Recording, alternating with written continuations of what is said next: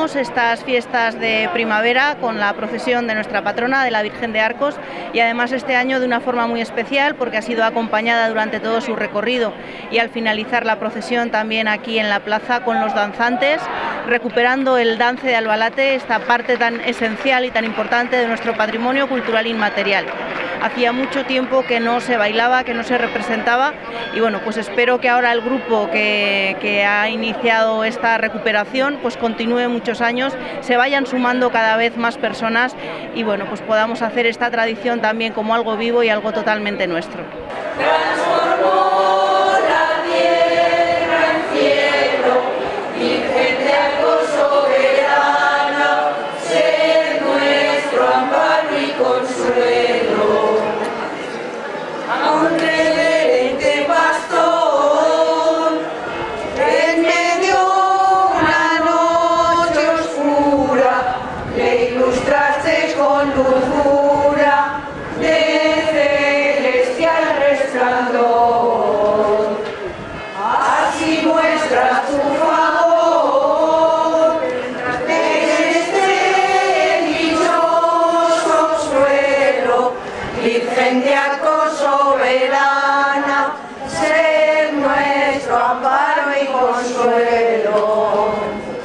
Bueno, esta tarde vamos a ver una representación del dance en el que vamos a bailar tres mudanzas. Una de palos, que se llama la gitanilla, otra de espadas, que se llama el broquel, y una de trenzar el palo, que se llama la guirnalda.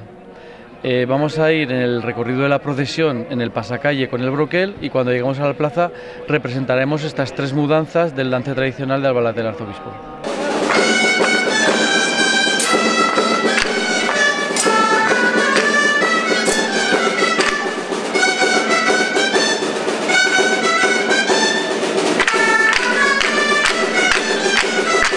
Mira, hace unos cuantos años empezamos con Fernando Gavarrús, intentamos ya recuperar un poco el dance.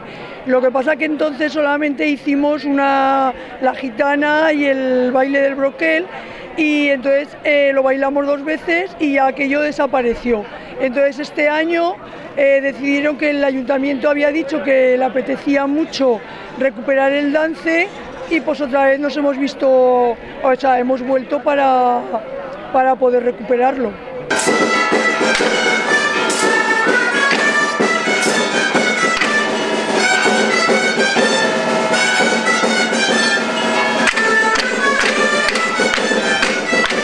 Pues fueron varias conversaciones con Fernando Gavarrús, él tenía ya la eh, parte de, de, lo que hoy se, se ha danzado recuperado.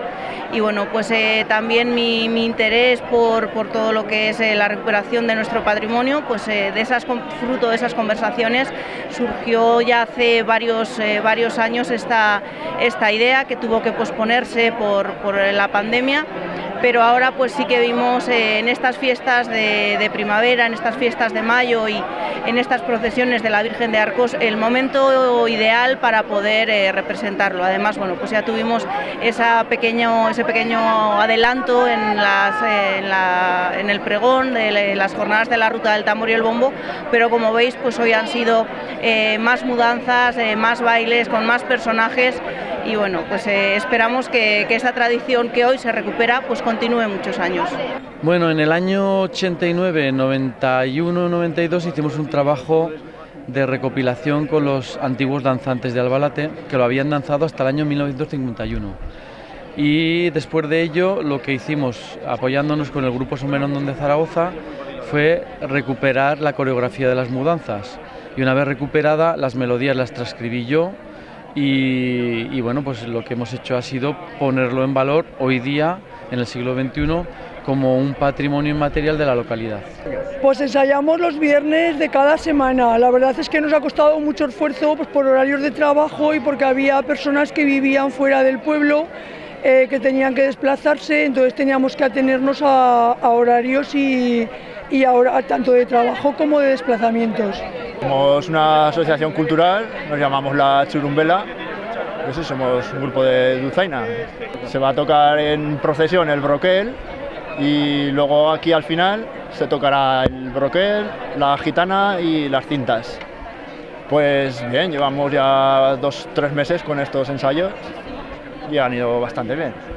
La verdad es que las, las chicas del dance se han aprendido bastante rápido.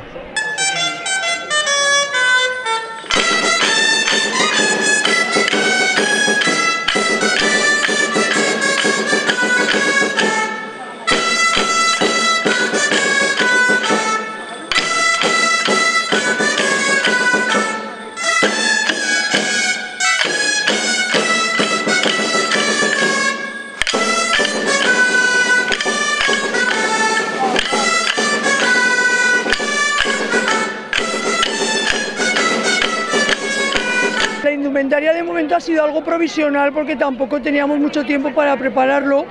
Eh, llevamos un pantalón negro con una camisa blanca, eh, el fajín eh, morado y un pañuelo sobre, sobre el hombro.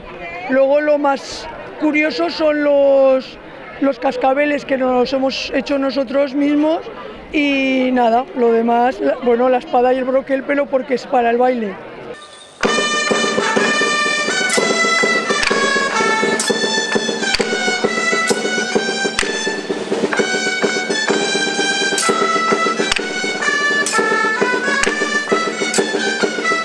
En el dance hay, una, hay un conjunto de, de artes. Está la poesía, la música, el teatro y la danza. Y dentro del teatro hay unos personajes que representan al bien, al mal. En este caso el diablo, que soy yo, represento al mal. Y el ángel, que es un niño, normalmente representa al bien. Hay un enfrentamiento entre ellos y al final acaba venciendo el bien. En la época en la que se, hacen los dances, que es en el siglo XVII, 1655, concretamente el de Albalate el arzobispo, pues es- está reciente la expulsión de los moriscos y lo que se pretende es hacer unas profesiones de fe con estas eh, danzas externas donde tienen que manifestarse su vinculación al catolicismo.